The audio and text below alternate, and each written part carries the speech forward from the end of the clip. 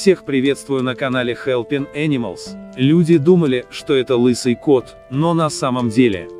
Совершенно случайно прохожий заметил крохотного розового зверька, растерянно смотревшего по сторонам на стоянке подержанных автомобилей.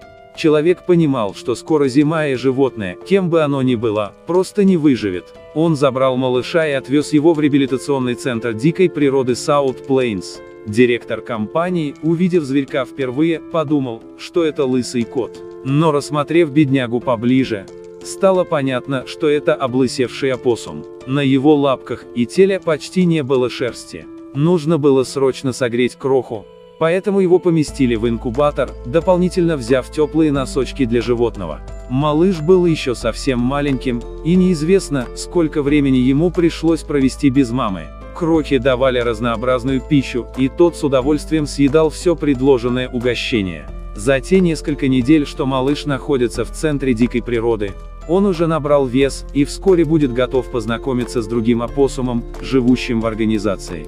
Для зверьков соорудили специальный вольер, где куча места для прогулок и сна. Спасибо за просмотр. Подписывайтесь на канал, ставьте лайк, оставляйте свой комментарий и прожимайте колокольчик, чтобы не пропустить новые истории.